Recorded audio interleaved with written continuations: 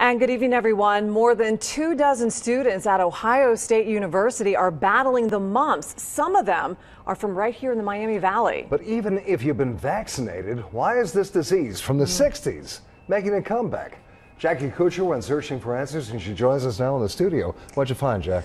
Well, basically, those vaccinations only protect you 80% of the time. They wish it was 100%, right? And all it takes is one person to be exposed. And turns out a local doctor is treating one of those OSU students right now.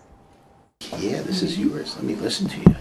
It's Lilianna's one year checkup with Dr. Roer. Not going to be a fun day. We're going to get the measles, the MMR, chicken pox, hepatitis. I'm hearing stories about things coming back. We heard about measles coming back, and so um, I don't want to risk that with her. Mary Calvert's also heard about the mumps at Ohio State University. But what about the vaccination for this 1960s virus?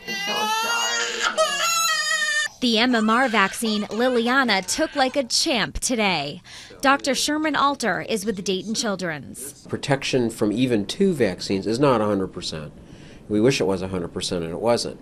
It's better than a single vaccine. It's unusual to get an outbreak of mumps, you know, especially with the vaccinations that are going around. But once you get mumps, it's not uncommon in close quarters like dorms or, or frat houses to spread the disease pretty quickly. Dr. Roer had one of the OSU students infected in his office yesterday. Sore, sore, tender, fever, tired, the usual symptoms that go along with mumps. Dr. Roer fears with so many families skeptical of vaccinations and deciding to forego them, we'll see more of these old diseases and viruses resurface. We did some reading on it, and um, I, I, think it's a, a hard decision. We have a lot of good friends who are on the other side of the decision, but.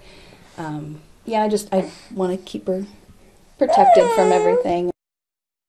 And a lot of parents are skeptical of vaccines, especially the MMR, because a doctor did link it with autism a few years back. He has since lost his license because researchers found the data was falsified and that his research was fake.